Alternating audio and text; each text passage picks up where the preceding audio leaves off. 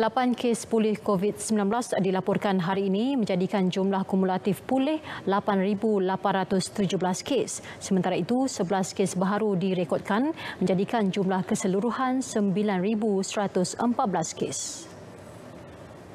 Lapan kes positif ialah kes import yang mendapat jangkitan di luar negara iaitu Singapura 3 kes, Filipina 3 kes, Australia 1 kes dan Jepun 1 kes. Manakala baki 3 kes merupakan penularan dalam negara, 2 kes adalah dalam kalangan warga negara dan 1 kes adalah dalam kalangan bukan warga negara. Sehingga kini, 1 kes positif COVID-19 sedang dirawat di unit rawatan rapi. Tiada pertambahan kes kematian dilaporkan menjadikan jumlah kumulatif kekal 100 25 kes.